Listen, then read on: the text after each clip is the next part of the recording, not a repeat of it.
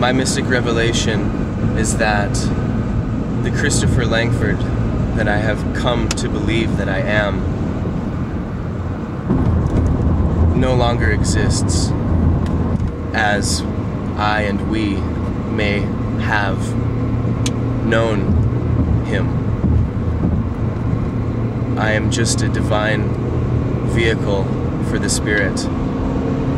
I strive to keep this in the front of my mind and not forget and not slip up and to let the divine energies of the universe flow through me so that I may fulfill the grand design of my destiny.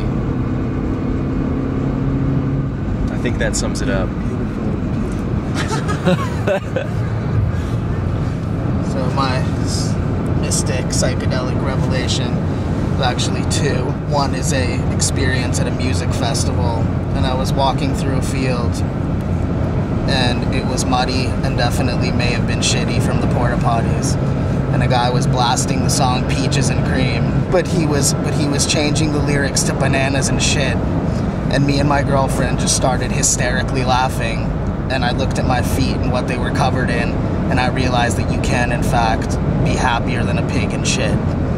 That's one of them. Yes. Part two, as it relates to my new role and my new lifestyle with the Brooklyn Salsa Company, is that if you never take a shot in life, you will regret it for the rest of your life. Out. Bam. Said. Short and sweet. Boom. Like me. Point. Get down. Get rad. Get down, get rad. live, breathe. Roll your windows down. Let's take the lid off. Air is. Swim around in it.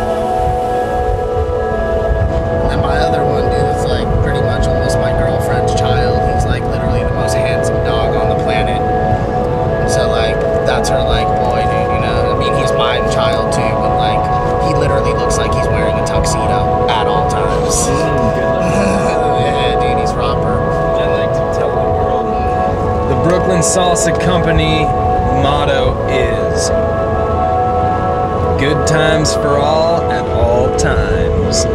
Slammer! Good times for all at all times.